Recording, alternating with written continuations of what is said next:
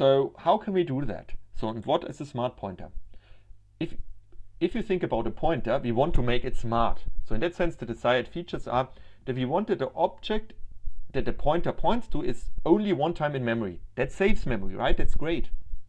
But we, what is also smart is that we try we would like to destruct the object automatically if the object is not needed anymore. So that means if we would produce a dangling pointer and a memory leak, we try to we would free the object. But we want the convenience of the object such that it that such that the object inside looks like it would be a pointer. And the awesome thing is that we can do this in C++ using constructors, destructors, and operator overloading, in particular the overloading star and the arrow operator. This together allows us to implement smart pointers. So wait a minute, you may ask, how can we implement this idea? Well, what we need to do for a smarter pointer is we need to count how often an object is referenced. That means how often it is used inside your code. So once it is not referenced anymore, that means the last time it, it, it will be referenced zero times, then we know it can be safely destroyed. Because by definition, there won't be any other pointer to the object. That means we don't have any dangling pointers anymore. So what is now a smart pointer in a more specific definition? A smart pointer is a wrapper class over a pointer. That means, what does wrapper class mean? It means uh, objects of a smart pointer look like a pointer, they behave a bit like a pointer by overloading operator star and arrow, but at the same time they utilize advanced features for reference counting and this automatic deletion of objects. And this is a so-called wrapper pattern. A wrapper allows the interface of an existing class to be used, so you can still use the same interface as before. So that means smart pointers behave as a pointer, well, but it's smart under the hood, which is the whole point. So let's look at a very simple version of smart pointers and the core idea. Here we see only a wrapper on the left hand side, a class smart pointer, which has as a private member a pointer to an integer here. And as a public interface, we have the constructor, which takes a pointer to an integer. And it, if, if a pointer is given, it will assign this internal pointer to it. And if we kind of reach the destructor, then we delete the pointer. Okay, now we will overload the star operator, and this is the signature for, for this operator star. It returns a reference to an integer in this case, because integer, this object should look like an integer pointer. And then it returns the, the pointer. The dereference pointer, we return a reference. So this is now a very simple example. And how? what does it mean now? We said this a smart pointer p, now we create an integer into it, it should behave like an integer. Okay, that means when we say star p equals 10, this should be doing, should work, and in fact it works. Also when we print star p, we try to get the value, which should be an integer, and this works as well. And now the great thing is when p goes out of scope, we leave the local scope of this function here. So we leave the block, we leave this block. So that means all the local variables, they will be destructed. So what will happen is we will try to destroy the smart pointer, object p.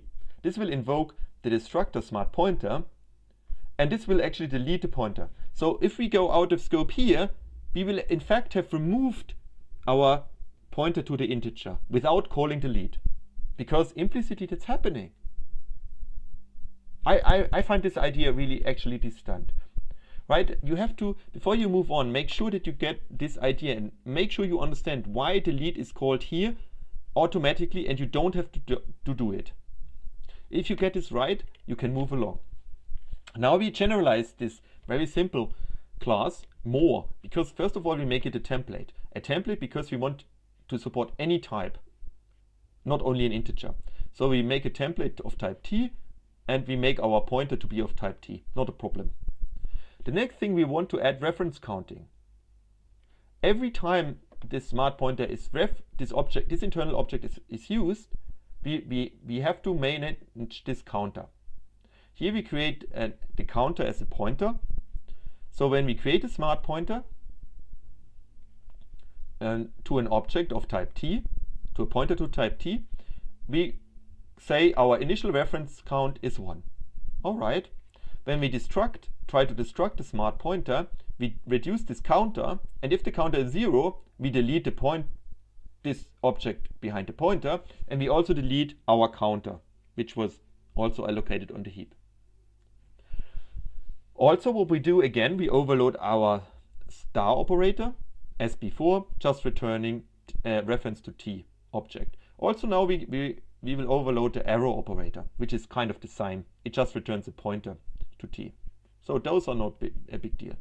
What we need to do now as well, here we will overload and allow to create a smart pointer based on a previous smart pointer. Wow. So it means we allow a smart pointer to be assigned to another smart pointer, creating copies to the object that is internally happening. What it does, it assigns this pointer object, so this constructor here, sorry, this constructor will assign this internal pointer to the object that we, the smart pointer we have created it from. It will also uh, assign the counter to the previous counter, but it will increase the reference count by one. Now let's have a look how this works and why this is so great. Here we create a smart pointer to in type integer, again like we did before, new int 1, new int. So we assign the integer to be 10. We print integer. So internally under the hood, sorry, the counter will be here 1, this reference counter. Now what I can do here, I can assign a p2 to p. So I create actually a new smart pointer, assign them to each other. This will increase the reference count to 2. And under the hood it will have called this constructor here that we just created. Then I call testfunc, and when I call testfunc, testfunc takes the smart pointer to int. When I do that, this local object here will call the copy constructor again, which will increase the reference count to 3. But when I leave this function, I destroy p again, which will reduce the counter to 2 again. So now, at this point, the p2 goes out of scope, because it was a local variable, but p goes out of scope too. I, I don't know which one of them will be destructed first, and it doesn't matter. What matters is, what, whichever got destructed last will find that the counter is now 0, and it will remove safely those two objects. So this is really great if you use this concept throughout your code. You never have to worry about a memory leak anymore. And it's mostly efficient code.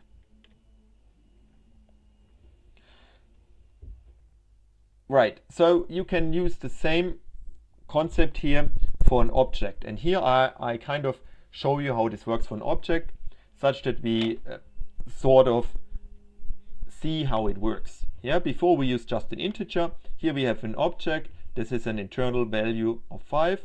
And we print out object created and object destroyed in the destructor to make sure that we monitor that this behaves as intended. So I just say a smart pointer of this object, new object. Then I print out PO value and I return 0. Again, this object has been con constructed properly and it will be automatically destroyed. Will that happen? Yes, it will. So lastly, I want to talk about smart pointers in an array. So there is a little bit of change that needs to be done if you want to support an array. And I think let's call it smart pointer array, this template. It shares a lot of concepts that we did before. So our constructor is pretty much the same. And also our in our destructor, we, we find mostly the same. However, when we delete now our pointer, it's an array, so we delete, we have to use this array notation here by the deletion. And uh, the copy constructor is the same, the, the star operator is the same, the array operator is the same, but we want to make this really look like this smart pointer array as it is behaves like an array. So we should also implement now here the square bracket operator to index certain elements. So that's what we do here. So we return here in this operator, given an index, we return pointer and position x. as a reference. So now that's the only change. This class here includes the debug output. You can use it. You find it in our repository. And I, this is really the core concepts. How would we use a smart pointer array? Well, we here we create a new object array 5 with five elements. And then we can say, for example, we have here a copy to a PO2 pointer object. This pointer object, we try to access the element in position 4 and get its value. This works seamlessly as it would be an array. The question here is that I ask you to resolve what output will we see on the screen. Remember, output was for creating an object and destruction of an object, but also we will see the creation of the smart pointer and destruction and the copy constructor, of course. So check out this code and check out our object code. Have, have a good guess what output we'll see before you proceed. Yeah? And experiment a little bit with this code. Again, I, I, I understand that people struggle with this, but remember, what did we do? We just used the concept of templates and the concept of constructors, destructors, and operator overloading together to construct this great thing. In practice, we will find that C++ code is much, much more complicated by having deep hierarchies, a lot of inheritance, and template magic. So this is really a core thing that you need to understand to get really proficient in C++. Right, so in fact, yeah, um, have your go. What kind of output will be created? Um, think about it for a couple of minutes, studying the slides, um, going back, and then I will reveal the output in a minute. So pause the video now, and I will continue in three, two, one. So here's the solution. Here a little bit as aligned to the respective code. So when I use object 5, I get 5 times object created. When I create a smart pointer, well, I get the reference count to 1. Here I call the copy constructor, of course, get reference count 2. Here I get just the output of value 5, nothing special. Now I get here out of scope of my first reference pointer, and we can actually see which one it is. It's the, oh yeah, it's always the same target to the same target object. So one of them goes out of scope. I don't know which one it is. The second one goes out of scope. Then I call delete. And then I destroy all those five objects, sequentially calling their respective constructors. Again, where are they called? When I call here delete of an array, I call, of course, the destructor for every element of the array, the object destruction. Yeah, if you like to find out which object is destroyed in which order, you can kind of count the objects up and down uh, when they are created, and then you know exactly which object it will be, which object will be created first, which object will be destroyed, which is the order, and so on. I think it is rather simple. So now, if you this pattern is so common and largely used that of course you find it in the standard template library of C++. It provides several smart pointers for different reasons. And they are complete implementations, while what I sketched today for you, they are partial implementations. For example, the compara comparator was missing. Let's have a quick look. There is a so-called unique pointer. It is only a single pointer to an object uh, allowed, but when it basically manage, makes sure that when you leave the scope that the object is automatically removed. And you use it like so, unique pointer to, of some class, object like object or int. You just say make unique. Um, it can be a derived class um, or anything. You have a shared pointer. This is now kind of what we implemented. So several shared pointer objects may own the same object and the object is destroyed when the last shared pointer owning the object is destroyed. So it does use reference counting as we did. Yeah, um, so here in this example we instantiate a derived object and then create a smart pointer to its base class. Right, so you can have a, like a, you can say make shared, shared student and you assign it to a shared pointer person. A problem with shared pointers and any kind of reference counting is if you have reference cycles. Like you have an object A that references B, B references C, and C references A.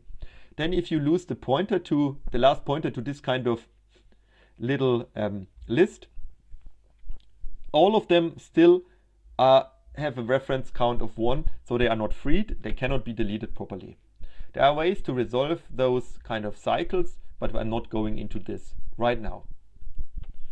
Lastly, there is a so-called weak, and it's a non-owning pointer. So a weak pointer holds a reference to an object that is managed by a shared pointer. The idea is that we model temporary ownership. What is it, is it needed for? So when you have an object um, that can be accessed only if it exists. So there may be cases in which it exists, and there may be cases in which it doesn't exist. And it might happen that while you were using it, it may be deleted by someone else. So this is particularly useful if you try to break the reference cycles like before. You can make one of those, for example, a weak pointer, and this allows you to break this kind of cycle here. And it's sometimes used for the reason that your functionality works the way that you don't you want to check if the object exists and you typically assume the object exists but there might be cases when it doesn't. Right so before you use such a weak pointer you need to convert it to a share pointer which uses a lock method. So let's have a look how this works. So here we create um, a weak pointer wp we create First, a shared pointer to an integer with the number 42.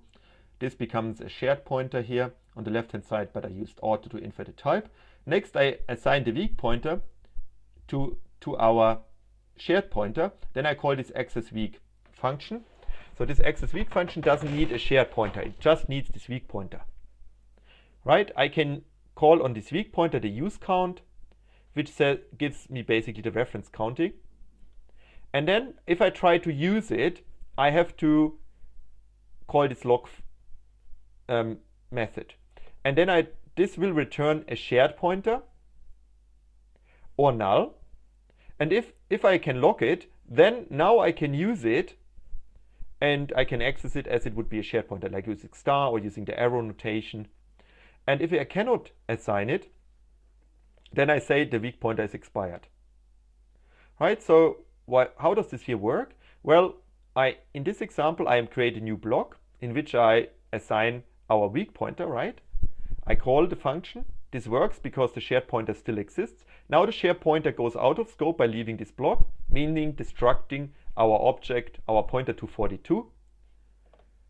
Then I try to call the function access weak with our weak pointer that still contains the memory address, so to speak, to our shared pointer object, so the object behind the shared pointer. I try to lock, but this doesn't work. It says our use count is zero. That means the weak pointer is expired. Right, so as you can see in this idea here, it's not possible for me trying to access a null pointer because a null pointer is detected in this code explicitly. And it does not crash my program. That's very neat. Good, good. This might be a little bit much, but I'm sure you will review today's lecture and I, I, I was really stunned when I saw how, how this concept works and how this resolves all the nightmares that I had with memory management before. And I made a lot of uh, mistakes with memory management. And as I love C, I'm still doing mistakes. So yeah, I think smart pointers are absolutely a great pattern in C++ and must be known. Good. Anyway, to wrap up today's talk, solid principles can guide design of object-oriented programs, and there are many more principles that you can look up. Design patterns is a general reusable solution. Worth to know, there are creational, behavioral, structural, and concurrency patterns. We look today at a factory pattern that allows you to create objects based on certain properties. And then we dived into smart pointer patterns, which is a structural wrapper pattern that showed how language constructs can be cleverly used and we used reference counting of objects to ensure the same destruction to prevent typical memory errors. So yeah, I, I, I hope you have a great week and talk to you soon.